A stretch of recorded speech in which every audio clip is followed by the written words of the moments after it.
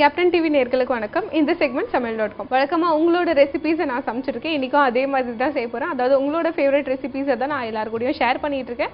இன்றைக்கி வந்து ஒரு ரெசிபி அதாவது ஒரு டயட் கான்ஷியஸாக இருக்கவங்களுக்காக ஒரு ஹாப்பி ரெசிபி வந்திருக்கு அப்படின்னே சொல்லலாம். அதாவது ஓட்ஸ் வச்சு ஓட்ஸ்னாலே தெரியும்.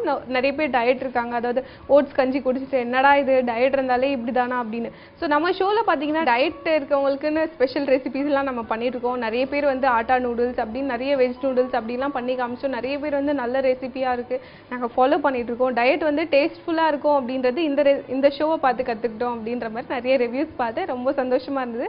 ஸோ இன்றைக்கும் அதே மாதிரி ஒரு ஓட்ஸ் வச்சு ஒரு டயட் ரெசிபி அப்படின்னே சொல்லலாம். பட் எல்லாரும் சாப்பிட்லாம். இதை வந்து ஒரு டயட்க்கும் ஸ்பெஷலாக இருக்கும் அப்படின்னு சொல்லலாம். ஸோ இந்த ரெசிபி வந்து நேம் பார்த்தீங்க அப்படின்னாக்கா ஓட்ஸ் பேன் கேக் இது அமிச்சவங்க யாருன்னா சந்தியா ஃப்ரம் வெள்ளிச்சேரி ஸோ இந்த ரெசிபியை பார்க்கறதுக்கு முன்னாடி இன்க்ரீடியன்ஸை ஃபஸ்ட்டு பார்த்துலாம் நோட் பண்ணி வச்சுக்கோங்க. Oil pepper powder chilli powder onion cheese oats tomatoes garam masala mixed herbs carrot sauce salt ingredients எல்லாம் பார்த்துருப்பீங்க. அதை ரொம்ப ஈஸியான இன்க்ரீடியன்ஸ் தான் அதை நோட் பண்ணி வச்சுருப்பீங்கன்னு நினைக்கிறேன். பட் ஓட்ஸ் பார்த்தீங்கன்னா நம்ம அது மட்டும் ஸ்பெஷலாக வாங்கிக்கணும். அதாவது என்ன அப்படின்னாக்கா இந்த ஓட்ஸை வந்து நம்ம இப்போது நல்லா அரைச்சி அரைச்சு வச்சுருக்கோம். அதாவது எய்தர் நீங்கள் வந்து ஓட்ஸை வந்து தண்ணி ஊற்றிட்டு இப்போ நம்ம மிக்சியில் வந்து ரைஸ் அதெல்லாம் அரைப்போம் பார்த்தீங்களா ஸோ அந்த மாதிரி கூட நீங்கள் அரைச்சி வச்சுக்கலாம். அப்படி இல்லைன்னா ஜஸ்ட் நீங்கள் முன்னாடியே இதை பவுடர் பண்ணி வச்சுட்டு கூட நம்ம மிக்ஸ் பண்ணிக்கலாம். இப்போ வந்து ஆல்ரெடி நம்ம இந்த ஓட்ஸை வந்து பவுடர் பண்ணி வச்சுருக்கோம். ஸோ மிக்சிங் ப்ராசஸ் எப்படி பண்ணலாம் அப்படின்றத நான் உங்களுக்கு சொல்லிடுறேன். ஒரு பெரிய பவுல் எடுத்துக்கோங்க. அதில் நம்ம பவுடர் பண்ணி வச்சுருக்கிற இந்த ஓட்ஸ் ஆட் பண்ணிக்கலாம். இதில் தண்ணி போட்டு நம்ம மிக்ஸ் பண்ணிக்கலாம் ஃபர்ஸ்ட்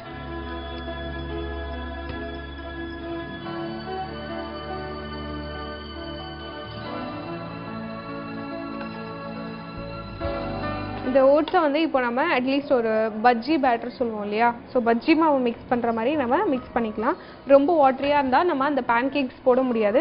ஸோ ஓரளவு திக்காக நம்ம மிக்ஸ் பண்ணி வச்சுக்கலாம்.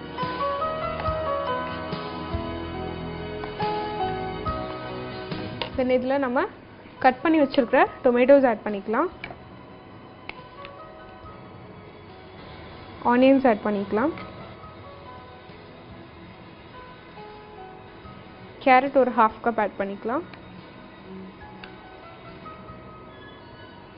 சில்லி பவுடர் ஒரு ஹாஃப் டீஸ்பூன் ஆட் பண்ணிக்கலாம். பெப்பர் பவுடர் ஒரு half tablespoon garam masala ஃப்ளேவருக்கு ஆட் பண்ண போகிறோம் அதாவது ஸ்பைசஸ் இருந்தாக்கா எந்த ஒரு நார்மல் பேன்கேக்ஸும் வந்து நல்லா இருக்கும் ரொம்ப. ஸோ அதனால் நம்ம கரம் மசாலா ஆட் பண்ண போகிறோம் ஸோ அவங்க என்ன சொல்லியிருக்காங்க அப்படின்னாக்கா மிக்ஸ்டு ஹர்ப்ஸ் கூட நீங்கள் ஆட் பண்ணிக்கோங்க. சில சில பேருக்கு வந்து ஈஸியாக அவைலபிள் இருக்காது. பட் இப்போ வந்து சூப்பர் மார்க்கெட்ஸில் பார்த்தீங்கன்னா இந்த மிக்ஸ்டு ஹர்ப்ஸ் வந்து ஈஸியாகவே அவைலபிள் இருக்குது ஜஸ்ட் நீங்கள் வாங்கி வச்சுக்கிட்டிங்கன்னா சாண்ட்விச்சஸ்க்கு கூட நீங்கள் யூஸ் பண்ணிக்கலாம். ஸோ இப்போ நம்ம துருவின சீஸ் ஆட் பண்ணுறோம் டயட்டில் இருக்கவங்க வந்து கண்டிப்பாக சீஸ் வந்து அவங்களுக்கு ஒத்துக்காதுன்னு எனக்கு தெரியும். அதாவது ரொம்ப ஃபேட் இருக்குது அப்படின்னு நீங்கள் ரொம்ப ஃபீல் பண்ணுவீங்க. பட் என்னைக்குனா சாப்பிட்றதுல எந்த கஷ்டமும் இல்லை. நீங்கள் வந்து சாப்பிடுங்க. இன்கேஸ் வேண்டாம்னா நீங்கள் அந்த சீஸை மட்டும் அவாய்ட் பண்ணிக்கலாம். பட் சீஸ் போடுறதால இந்த பேன் கேக் வந்து ரொம்பவே இன்னும் டேஸ்டியாக இருக்கும். அந்த டேங்கி டேஸ்ட் வேணும் இல்லையா அந்த பேன் கேக்கில் ஸோ நம்ம டொமேட்டோ சாஸ் ஆட் பண்ண போகிறோம் ஃபைனலாக டிஷ்க்கு தேவையான சால்ட் ஆட் பண்ணிக்கலாம். ஸோ நம்ம இப்போ ஆட் பண்ண எல்லா இன்க்ரீடியன்ஸும் பார்த்துருப்பீங்க. இது எல்லாத்தையும் நல்லா மிக்ஸ் பண்ணி வச்சுக்கோங்க. இன்கேஸ் உங்களுக்கு தண்ணி தேவைப்பட்டதுன்னா லைட்டாக ஆட் பண்ணிக்கோங்க. பிகாஸ் நம்ம பேன் கேக் போடும்போது ரொம்ப வாட்டரியாக இருந்தால் ரொம்ப அப்படியே ஆஹ், தனி தனியாக போயிடும். நல்லா இருக்காது. ஸோ ஓரளவு நான் சொன்ன மாதிரி அந்த பஜ்ஜி மாவு பா கொஞ்சம் இன்னும் கொஞ்சம் திக்காக இருந்தால் கொஞ்சம் கரெக்டாக வரும்.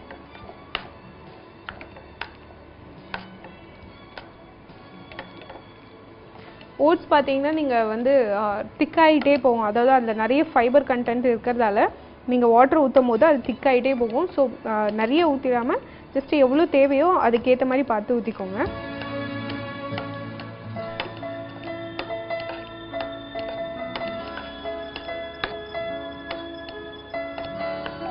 ஸோ நம்ம இதை இப்போ மிக்ஸ் பண்ணிக்கிட்டே வந்து சைடில் பேன் வைக்க போகிறோம் அதாவது தோசை தவா வச்சிடலாம்.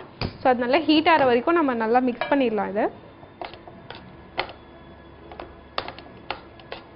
ஆல்மோஸ்ட் நம்ம பேட்டர் வந்து நல்லா மிக்ஸ் ஆகிடுச்சு ஸோ இந்த ஸ்டேஜில் நம்ம இதில் ஆயில் க்ரீஸ் பண்ணிக்கலாம்.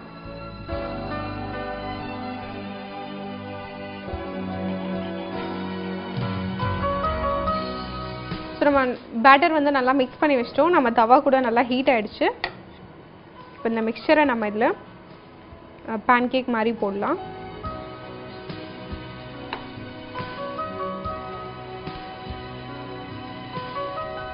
இன்கேஸ் உங்களுக்கு அடிஷ்னல் டேஸ்ட் வேணும் ஃப்ளேவர் வேணும் அப்படின்னு நீங்கள் ஆசைப்பட்டீங்கன்னா இதை பட்டரில் நீங்கள் செய்யும் போது இன்னும் டேஸ்டியாக இருக்கும்.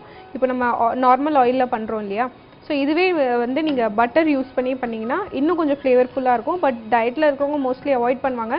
அட்லீஸ்ட் வந்து நீங்கள் நான்ஸ்டிக் அதாவது டயட்டில் இருக்கீங்க அப்படின்னாக்கா நான்ஸ்டிக் பேனாச்சும் நீங்கள் யூஸ் பண்ணி லைட்டாக ஆயில் க்ரீஸ் பண்ணிட்டு பண்ணால் தான் கொஞ்சம் நல்லா வரும் இது. ஸோ நம்ம இப்போ இந்த பேன்கேக்கை வந்து போட்டோம் ஓட்ஸ் பேன்கேக்கை இது வந்து அட்லீஸ்ட் ஒரு ஒன் மினிட்க்கு சிம்மில் வச்சு நீங்கள் குக் பண்ணுங்கள் அண்ட் திருப்பி போட்டுட்டு ஒரு ஹாஃப் மினிட்க்கு நம்ம சிம்மில் வச்சு குக் பண்ணும்போது இது ரொம்பவே டேஸ்டியாக வந்திருக்கும். அது எப்படி வந்திருக்கு அப்படின்றத நம்ம டிஸ்பிளேல பார்க்கலாம்.